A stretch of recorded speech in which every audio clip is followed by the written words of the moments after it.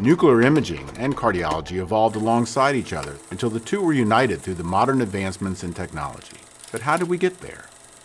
November the 8th, 1895, X-rays are discovered by German physicist Wilhelm Röntgen. He takes the first X-ray image showing the skeletal structure of his wife's left hand. 1911, the first practical application of a radioisotope used by George de Hevesy.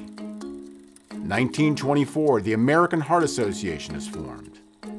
1929, the first right heart catheterization is performed by Werner Forssmann on himself.